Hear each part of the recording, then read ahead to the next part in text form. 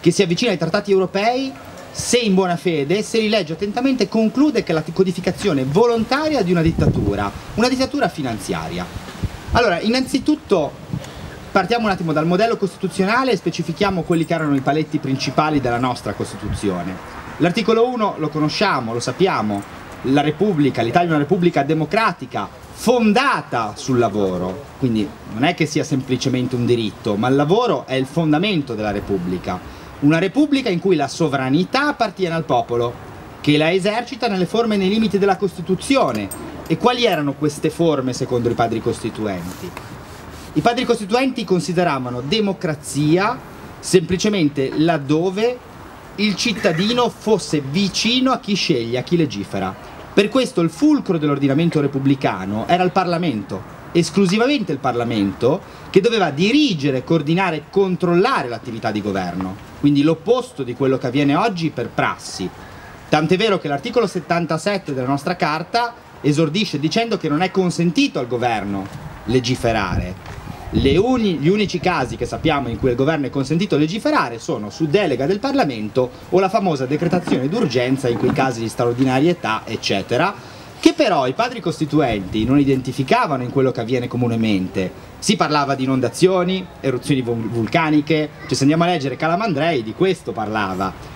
Perché questo? Perché effettivamente una delle caratteristiche principali del fascismo era proprio stata centrare il potere esecutivo quindi era il potere esecutivo che aveva il controllo. Le democrazie invece vogliono che il cittadino scelga colui che legifera e sia sempre vicino al, al, al, legislatore, perché così la democrazia non si disperde, non si allontana dal popolo, la sovranità rimane al popolo, che semplicemente la delega con l'esercizio del voto.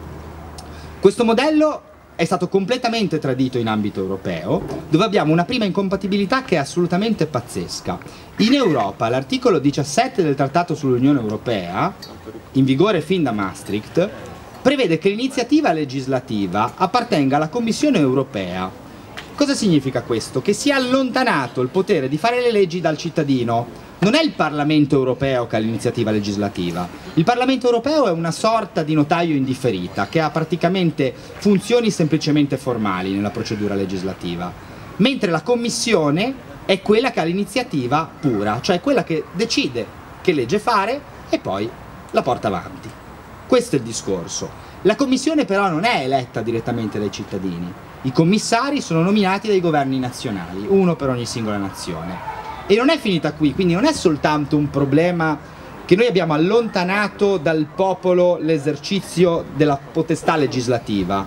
Il problema è che addirittura abbiamo codificato con la stessa norma l'indipendenza dei membri della Commissione europea dai parlamenti nazionali, dalle istituzioni europee.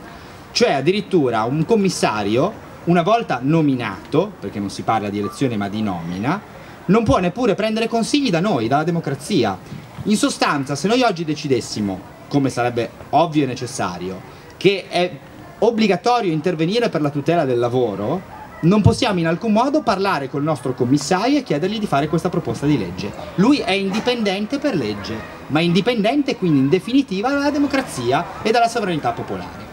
Già se noi codifichiamo un ordinamento del genere dal punto di vista legislativo, a priori noi vogliamo codificare un qualcosa che con la democrazia non ha niente a che vedere e questo è soltanto un primo passaggio. La nostra carta poi agli articolo 2 nei vari principi fondamentali, 2, 3, 4 eccetera, va a riconoscere i diritti inviolabili dell'uomo, ovviamente, sia come singolo sia nelle formazioni sociali in cui ovviamente si riunisce, ma soprattutto fa un'evidenziazione che è fondamentale.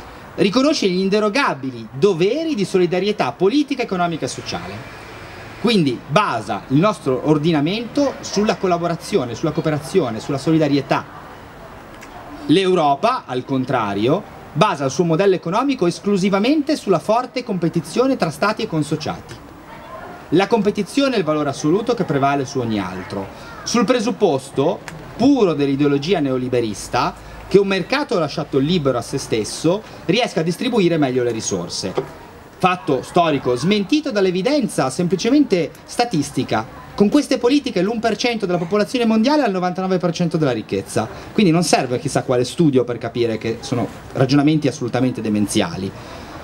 Eppure su questa base si è voluto fondare un modello preciso, che fa sì che Marco Mori per primeggiare nel suo lavoro deve far sì che Palma chiuda e diventi un disoccupato. Allora per me sarà più facile perché avrò acquisito posizioni di maggiore competitività.